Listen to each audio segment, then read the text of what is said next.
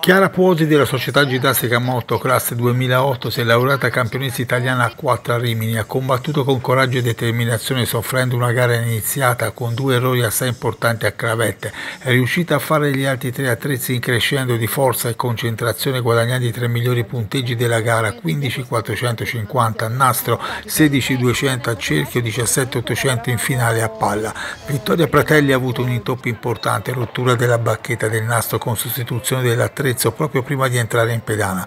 Gara difficilissima per lei, nella categoria 1 le piccolissime si sono messe in evidenza Melissa Musacci che ha vinto l'argento alla specialità corpo libero e Sveva Rafanelli classificatesi ottava e nona.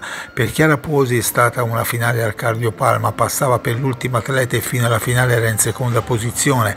Il coefficiente di difficoltà della sua palla era molto alto, fuori campo visivo su rotazione rendeva l'attenzione alle stelle perché da quell'attrezzo dipendeva la gara. Le sue avversarie non avevano fatto alcun errore, quindi se lei avesse perduto l'attrezzo sarebbe terminata la gara. Chiara ha avuto un gran carattere e determinazione, con 9200 di difficoltà ha fatto una palla impeccabile, strabiliando la giuria che ha assegnato a lei la vittoria meritatamente.